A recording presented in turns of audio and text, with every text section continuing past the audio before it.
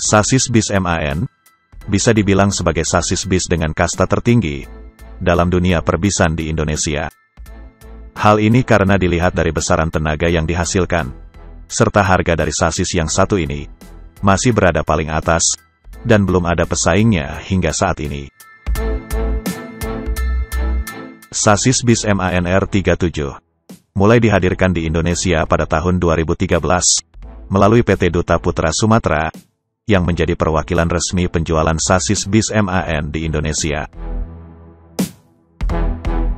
Bisa dikatakan bahwa sasis MANR 37 yang berada di Indonesia pada saat ini memang belum memiliki pesaing yang sekelas. Sasis bis tronton premium besutan Scania, Mercedes-Benz, serta Volvo, kelasnya masih ada sedikit di bawah sasis bis MANR 37. Spesifikasi dari sasis bis MAN ini sendiri cukup tinggi, untuk bis dengan tiga sumbu roda. Sasis ini dibekali mesin dengan 6 silinder segaris, dan berkapasitas 12.419 cc, serta mampu mengeluarkan tenaga maksimal hingga 460 tenaga kuda. Hanya ada beberapa perusahaan otobis yang menggunakan sasis MAN di Indonesia, Salah satunya adalah perusahaan otobis Nusantara, dan ada satu lagi perusahaan otobis Pelita Paradep dari Medan. Sasis bis MANR 37 dilengkapi dengan berbagai fitur pendukung keselamatan yang sangat canggih dan mutakhir. Seperti kita tahu, di negara asalnya Jerman, produk-produk dari pabrikan MAN sangat terkenal dengan teknologi untuk keselamatan dari penumpang.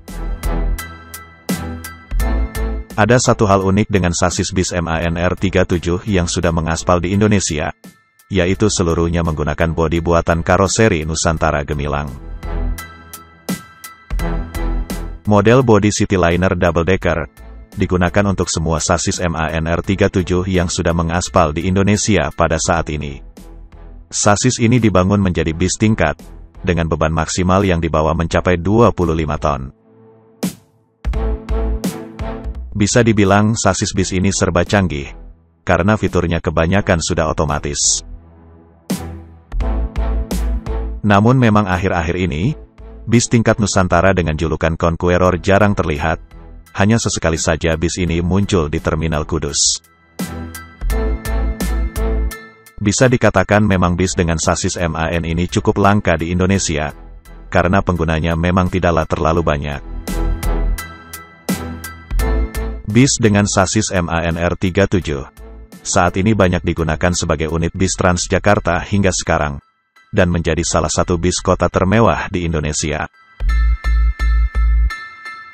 Untuk bis akap atau antar kota antar provinsi, perusahaan otobis Nusantara asal Kudus, dan perusahaan otobis Pelita Paradep asal Medan, masih menggunakan sasis premium MAN hingga saat ini.